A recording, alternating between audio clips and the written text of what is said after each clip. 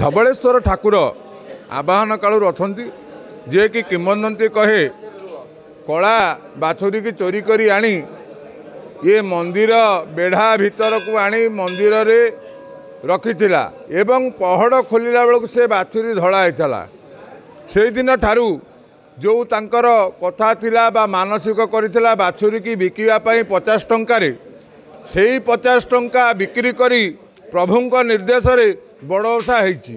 ଯେଉଁଟାକି ତ୍ରୟୋଦଶୀ ତିନି ଜଣ ଉପବାସ ଥିବାରୁ ତ୍ରୟୋଦଶୀରେ ପ୍ରଭୁଙ୍କର ଗଜଭୋଗ ତିଆରି ହୁଏ। ପ୍ରଭୁ ଚିନ୍ତା କଲେ ଯେ ଗ୍ରାମାଞ୍ଚଳରେ କିଭଳି ଓଷା ହେବ ନା ଚାରିଜଣ ଉପବାସ ଥିଲେ। ଇଏ ଗାଈର ମାଲିକ ଏବଂ ତା ହଳିଆ ଯେଉଁ ଚୋରି କରି ଆଣିଥିଲା ଚୋର ଏବଂ ବାଛୁରୀ। ଚାରିଜଣ ଉପବାସ ଥିବାରୁ ସେଦିନ ଚତୁର୍ଦ୍ଦଶୀରେ ପୁଣି ଗ୍ରାମାଞ୍ଚଳରେ ଏ ଓଷା ହେଇଛି। ଏ ଓଷା ହେଉଛି ପ୍ରସିଦ୍ଧ ଓଷା।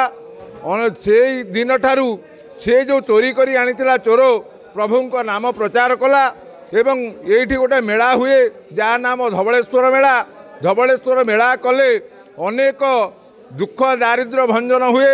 ତେଣୁ ସେଇଥିପାଇଁ ଇଏ ଠାକୁରଙ୍କର ସେଇଦିନଠାରୁ ଗଜ ଆଉ ତରଣ ଭୋଗ ହୁଏ।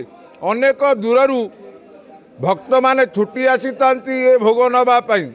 ତେଣୁ ସେଇ ଭୋଗ ନେଲେ ଆଦି ବ୍ୟାଧି ବିନାଶନ ଅତୀତ ଗିରି ସମାସ୍ୟାତ କଜ୍ଜଳ ସିନ୍ଧୁ ପାତ୍ରେ ସୁରତରୁ ବରଷା ଆଖା ଲେଖନି ପତ୍ର ମୁରବି ଲିଖତି ଯଦି ଗୃହୀତ୍ୱା ସରଦା ସର୍ବକାଳ ତଥାପି ତମ ଗୁଣାନା ବିଷ ପାରଙ୍ଗ ନ ଜାଣି ସାରଦା ଯଦି ସବୁଦିନ ବସି ଲେଖିବେ ଏ ଠାକୁରଙ୍କ ନାଁ ସରିବ ନାହିଁ ଅତୁଟ କର ଏବଂ ଏ ଯେଉଁ ସ୍ୱୟମ୍ଭୁ ବଳଭଦ୍ରଙ୍କ ପୀଠରେ ଏ ସିଦ୍ଧ ପୀଠରେ ଯେ ମାନସିକ କରେ ଏବଂ ଗଜଭୋଗ ବସାଏ ତାର ନିଶ୍ଚିତ କାର୍ଯ୍ୟକ୍ରମ ପୂରଣ ହୁଏ।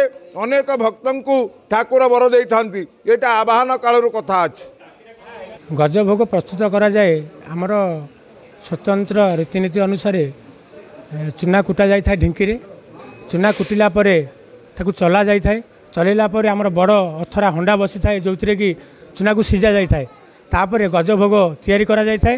ମୁଗ ଏବଂ ନଡ଼ିଆର ମିଶ୍ରଣରେ ବାବାଙ୍କ ପୁର ତିଆରି କରାଯାଏ। ଯେ ହେଉ ବାବା ଧବଳେଶ୍ୱର କଳାକୁ ଧଳା କରିଛନ୍ତି ତେଣୁକରି ଚାଉଳର ରଙ୍ଗ ଧଳା ହେଉଥିବାରୁ ମୁଗ ଏବଂ ନଡ଼ିଆର ରଙ୍ଗ କଳା ହେଉଥାଏ। କଳାର ଧଳା ମିଶ୍ରଣରେ ବାବା ଧବଳେଶ୍ୱରଙ୍କ ଗଜଭୋଗ ତିଆରି କରାଯାଇଥାଏ। ତାପରେ ଅଥରାରେ ସିଝା ଯାଇ ଗଜଭୋଗ ପ୍ରସ୍ତୁତ ହେଲା ପରେ ବାବାଙ୍କ ପାଖେ ଭୋଗ ଲାଗି ସାରିଲା ପରେ ଭକ୍ତମାନଙ୍କୁ ବିତରଣ କରାଯାଇଥାଏ। ବାବା ଧବଳେଶ୍ୱରଙ୍କ ପାଖରେ ଯେତେବେଳେ ବଡ଼ ସିଂହାର ବେଶ ଏବଂ ରାଜରାଜେଶ୍ୱର ବେଶ ଦର୍ଶନ ଦେବେ ପ୍ରଭୁ ସେହି ସମୟରେ ତ୍ରୟୋଦଶ ଏବଂ ଚତୁର୍ଥ ସନ୍ଧିରେ ବାବାଙ୍କ ପାଖରେ ସେ ବିଶ୍ୱ ପ୍ରସିଦ୍ଧ ଗଜଭୋଗ ମଣ୍ଡା ଭୋଗ ତରଣ ଭୋଗ ଲାଗି କରାଯିବ।